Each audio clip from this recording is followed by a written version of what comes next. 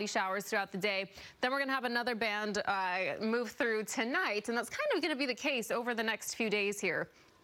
Santa Paula, Simi Valley, Piru, all getting some showers. Same for Malibu. And then down into downtown LA, Downey, Fullerton, and Chino Hills getting some very light rain there too. All right, we'll let you know what to expect in the coming days and when we'll finally get a break from some of this wet mm. weather. That's all coming up, guys. Okay, Brianna, thank you. With more rain on the way, a La Cañada neighborhood remains on high alert after the recent powerful storm triggered a massive mudslide in that area.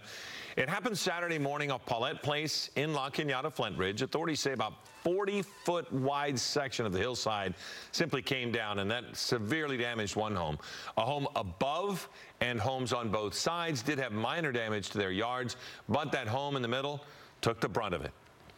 It's scary. It's really scary.